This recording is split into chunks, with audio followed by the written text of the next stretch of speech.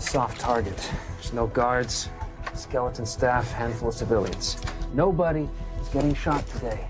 So I want safety's on, chambers empty. We might as well go in with squirt guns.